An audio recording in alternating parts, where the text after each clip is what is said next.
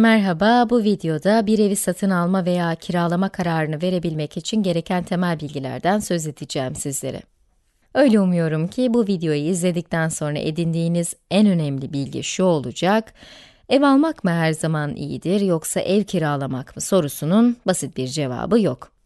Arkadaşlar açıkça söyleyeyim ben kendi evimde oturuyorum ve bu evi birçok farklı nedenle satın aldım. Bunlardan bazıları tamamen duygusaldı, bazıları da potansiyel olarak ekonomik nedenlerdi. Ev alma veya kiralama kararı kişisel koşullara göre değişiyor. Örneğin, hayatınızın hangi aşamasında olduğunuz, dünyanın neresinde yaşadığınız, o sırada ekonominin ne durumda olduğu, ev fiyatlarının ne seviyede olduğu ve kiraların ne alemde olduğu sizin bu kararınızı etkileyecektir. Ve biz bu video sayesinde en azından bu koşulları nasıl ele alabileceğinize dair temel bilgi edineceğinizi umuyorum. Diyelim ki bu güzelim ev piyasaya sunulmuş olsun. Aylık kirası da 1500 lira olsun yani 1500 lira bölü ay diyoruz. Bu yılda ne kadar yapar? 18 bin lira demektir. Evet, sizin şimdi seçeneklerinizden birisi budur. Diyelim ki aynı muhitte bunun birebir aynısı bir ev daha var, o da satılık olsun. Ve o evi satın alacak olursanız onun fiyatı da 400 bin lira olsun. Eğer bu miktarı öderseniz bu eve sahip olacaksınız ancak sizin 400 bin liranız yok. Ne yapacaksınız? Kredi çekmek zorunda kalacaksınız. Bugüne kadar da biriktire biriktire 100 bin lira biriktirebilmişsiniz. Bu da sizin peşinatınız olacak. Şimdi ne yapacaksınız? Doğal olarak üstünü krediyle tamamlamaya çalışacaksınız. Yani 300 bin liralık bir kredi çekmeniz gerekiyor. Geleneksel mortgage'da faiz oranı sabittir. Mesela 15 veya 30 yıl vadeli, sabit faizli bir mortgage kredisi kullanabilirsiniz bu evi satın almak için. Geleneksel bir mortgage'da aylık ödemenizin bir kısmı ana paraya, bir kısmı da faize girer. Diyelim ki sizin mortgage ödemeniz 1800 lira olsun, yani siz ayda 1800 lira ödüyorsunuz. Ödemenin başlarında arkadaşlar bunun çok önemli bir kısmı faize gider. Mesela ayda 1500 lira faiz ödüyor olabilirsiniz. Bu durumda ne olacak? Ana paraya giden kısım sadece 300 lira olacak. Yani bu 300 bin liralık borçtan sadece 300 lira eksildi. Ödemeler ilerledikçe yani son ödemelere doğru oranlar artık tersine döner. Artık yaptığınız aylık ödemenin çok büyük bir kısmı ana paraya gitmektedir. Mesela 1500 lirası. Doğal olarak ne olacak? Faize giden kısımsa azalmış olacak. Çünkü bu kadar süre boyunca siz ödeme yaptınız. Faiz kısmı azalmış oldu. Yani geleneksel bir mortgage'da arkadaşlar işler bu şekilde yürüyor. Ancak analizi basitleştirmek adına sadece faiz ödemeli bir kredi çektiğinizi varsayacağım. Bu tür kredilerde borcun sadece faizini ödersiniz, sonra da borcun kendisini nasıl isterseniz öyle kapatırsınız. Yani bu sadece faiz ödemeli bir kredi olsun. İşlemlerimizi biraz daha basit hale getirmek istiyorum. O yüzden bu varsayımı kullanacağız. Şimdi, Ayrıntılı bir inceleme için elektronik bir tablo çıkartıp gerçek değerlerle analiz yapmak lazım. Kredi vadesi boyunca faiz miktarının gerçekte nasıl değiştiğini görmek için bu şarttır arkadaşlar. Ancak biz sadece faiz ödemeli yani %6 faizli bir kredi çektiğimizi varsayıyoruz. Evet, sadece faiz ödemeli yani %6 faizli diyoruz. Bu yılda 18 bin lira faiz ödeyeceğiniz anlamına geliyor. 300 binin %6'sı 18 bindir çünkü, evet. 18 bin lira faizden bahsediyoruz. Aslında nerede yaşadığınıza ve gelir seviyenize bağlı olarak mortgage faizleri gelir verginizden düşülebiliyor. Tabi bu Türkiye'de aktif olan bir uygulama değil arkadaşlar fakat yine de anlatmak istedim. Tabi bu 18 bin liranın tamamını geri alıyorsunuz demek değildir. Peki nedir? Şudur, Mesela yılda 100 bin lira kazanıyorsunuz, %30'luk vergiyi 100 bin lira üzerinden değil, 100 bin eksi 18 bin lira üzerinden ödüyorsunuz. Yani vergilendirilebilir geliriniz 82 bin liraya düşüyor ve tasarrufunuz aşağı yukarı bu faizin vergi oranıyla çarpımı kadar oluyor. Şimdi vergi oranı yuvarlak hesap 3'te 1 olsun, vergi indirimi 6 bin lira olur böyle bir durumda. Dolayısıyla vergi indiriminden sonra ödediğiniz gerçek faiz miktarı 12 bin liradır. Peki, gerçek faiz maliyeti.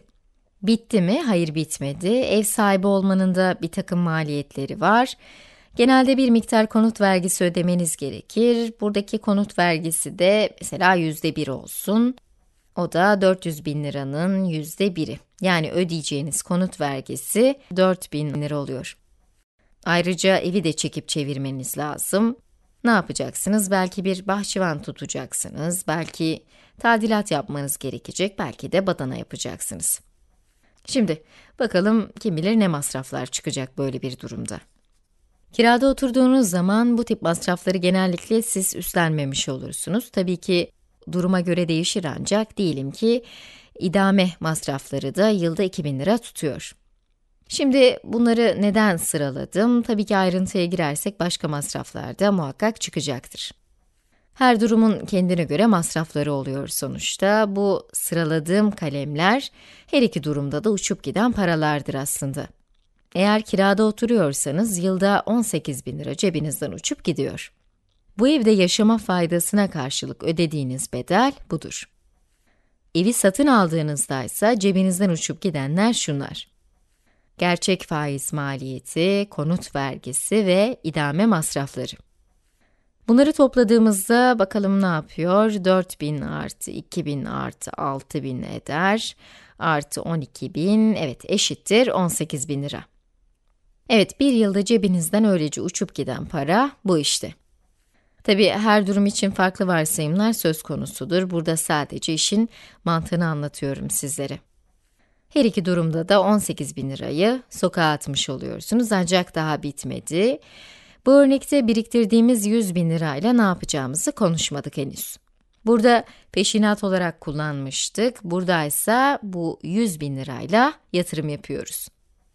Yani bu örnekte bu para üzerinden bir gelir elde edeceğiz ancak bu örnekte böyle bir gelir söz konusu değildi. Tabii bu gelir neye yatırım yaptığımıza da bağlıdır arkadaşlar. Mesela bir vadeli mevduat hesabına yatırıp %1 veya %2 civarında faiz alabiliriz veya bir sürü farklı yere yatırım yapıp %4 kar elde ederiz. Yani bir şeyler yapıyoruz sonuçta. Sonuç olarak vermediğimiz bu peşinat üzerinden para kazanabiliyoruz.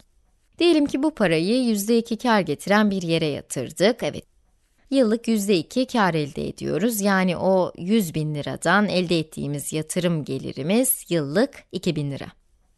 Bu yatırım gelirini bu giderden çıkarttığımızda cebimizden çıkan para yani ödediğimiz gerçek kira 16 bin liraya iniyor.